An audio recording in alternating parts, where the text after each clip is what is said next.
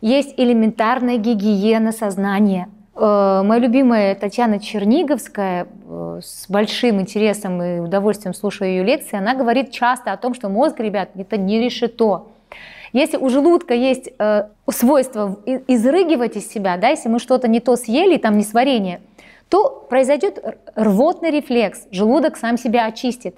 Но у мозга нету такой опции. Сюда все загружается, и нету способности это оттуда выгрузить.